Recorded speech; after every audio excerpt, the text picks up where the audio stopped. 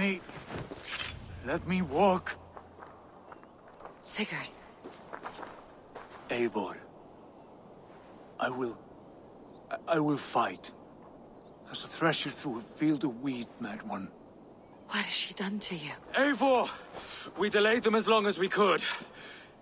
Reinforcements from Winchester have come.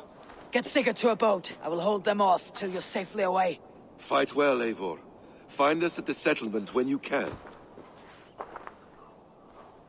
Archers! To the walls!